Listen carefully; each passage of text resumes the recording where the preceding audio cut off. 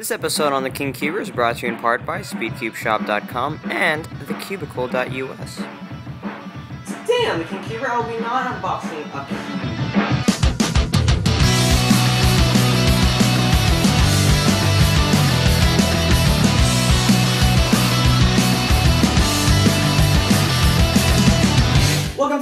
the Cuber with a Cube, a channel that brings you weekly Cuban unboxings and reviews. I'm your host, AJ Nougat. Now today is not a cubing unboxing, but is an unboxing of the wireless Bluetooth headphones made by Creative Labs. Now to make up for this week's usual Mondays unboxings, I will be doing a review of the QJ Pyraminx this coming Thursday.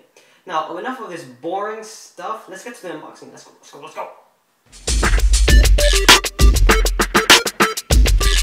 In the box, all that came was the wireless WP300 headphones costing at the retail price of 80 smacks, or a temporary bargain price at eBay for the used one for 42 smacks, so about 50% off is wear it off to your wallet. And this is actually a used pair, and I've been using it for a day already, and it's very nice actually, no problems with it. All that I am not liking with these headphones is comfortability when it comes to applying it uh, to your ear and keeping it there for at least like an hour or two. A wire that is a 2.0 jack com- connecting to a computer, and of course the port for the wireless headphones, where it connects down below on the left bud. It just connects like that. Oops. Uh, outside.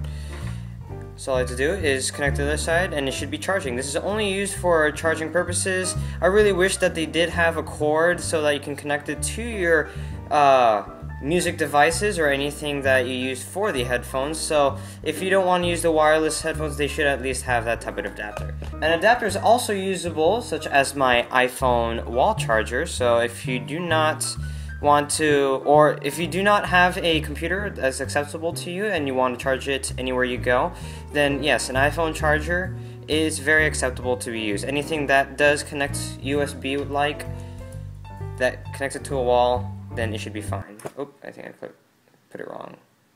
Yeah, I did. There you go. A bag for storage use says creative right there. And these papers that does explain who cares? On to the headphone specs.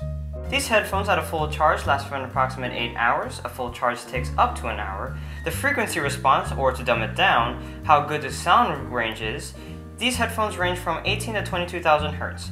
Compare on how good this is, the Beats headphones by Dr. Dre are at 20 to 20,000 hertz.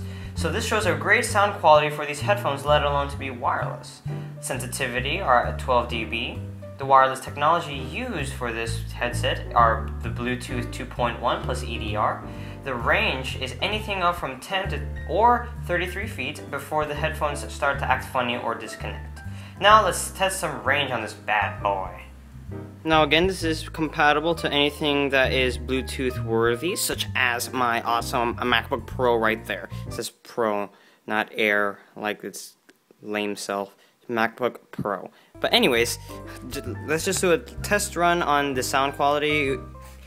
Most tests should not be actually through um, the mic on an iPhone or anything that is recording because it's not very trustworthy, reliable uh, tests, I guess, because it is not the same as hearing it with your ears itself. But I can show you on how loud it can be.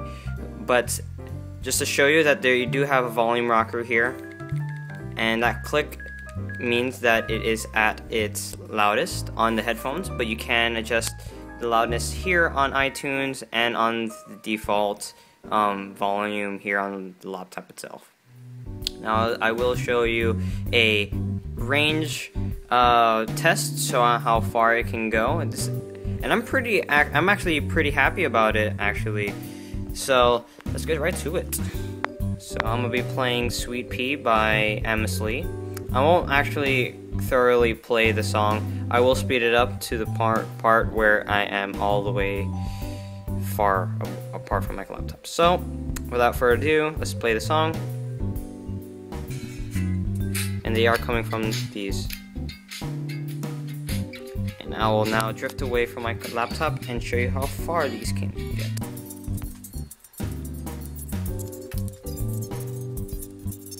So about here is when it starts getting disconnected. As you can hear, it's starting to lag a little. So this is how far I was actually. I will I will pause it now because I do not want to get copyrighted.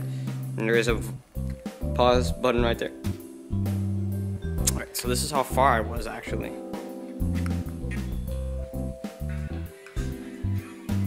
Wow, still keeps playing. This is how far I was. So we can all say that this wireless headset is very, very reliable from distance wise, and it does have a really good sound when you actually put it in the ears. The only thing that I think is a con on this headphones is that it's a, it's the buds are very small, so that can be very irritating for large-eared people, even if for the people for that has small ears, because the cups are so small that after an hour, it does get a little annoying and it starts hurting your ears a bit, but that can be fixed by just changing the literal buds here. If you're a little technical and you can uh, have the techniques on how to take these small buds. My ear is literally like that small. Not even kidding you. Compared to my hand, it's literally really small. So do I recommend them? Of course, yes. I definitely do for wireless. Do, is it user friendly? It is not very user friendly, but it can get there. Overall, I do accept this as an awesome product.